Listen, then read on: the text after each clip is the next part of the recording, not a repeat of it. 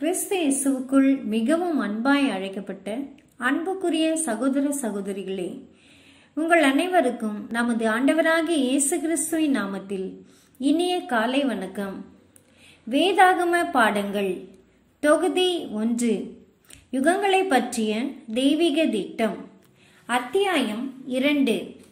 எல்லாவற்றிற்கும் மேலாக சர்வ ஞானமுள்ள சிருஷ்டிகர் ஒருவர் உண்டென்று நிரூபித்தல். பக்கம் இருபத்தி ஒன்பது. ஒருவகை சிருஷ்டி வேறொரு வித சிருஷ்டியாக மாறியதற்கு உதாரணமே இல்லை. சில மீன்கள் ரெக்கை உடையனவாய் தண்ணீருக்கு வெளியே சில மணித்துளிகள் பறந்தாலும் சில தவளைகள் ஓர் விதமாய் பாடக்கூடியவை ஆயினும் இவைகளில் ஒன்றாவது இதுவரையிலும் பறவைகளாக மாறினதில்லை.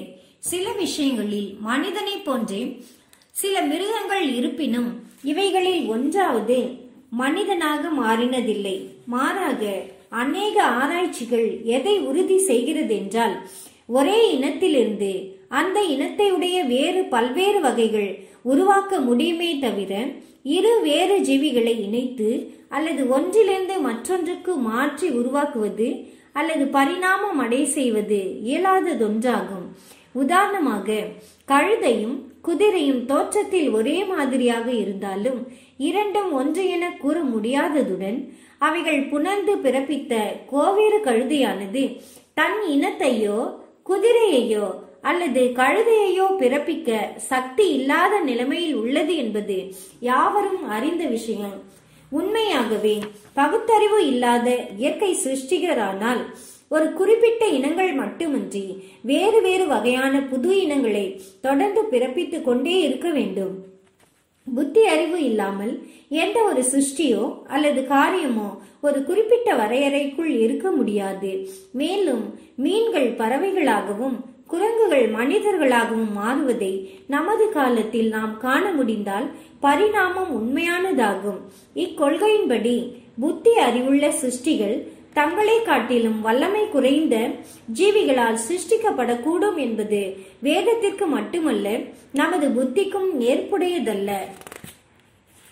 மனிதனை தவிர சிருஷ்டிப்பு பற்றி ஒரு பரிணாம வளர்ச்சி கொள்கை உள்ளது என்பதற்கு கடுமையான தடை ஏதும் எழவில்லை.